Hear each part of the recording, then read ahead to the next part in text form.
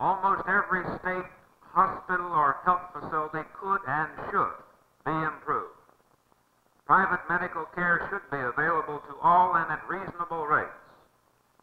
I understand the medical profession and private hospitals are already moving rapidly to assure medical service within the reach of every family pocketbook.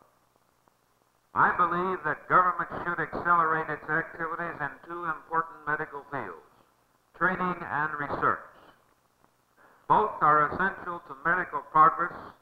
Both are almost unbelievably expensive. Private effort, both individual and group, has long been a forerunner in America's efforts to conquer disease through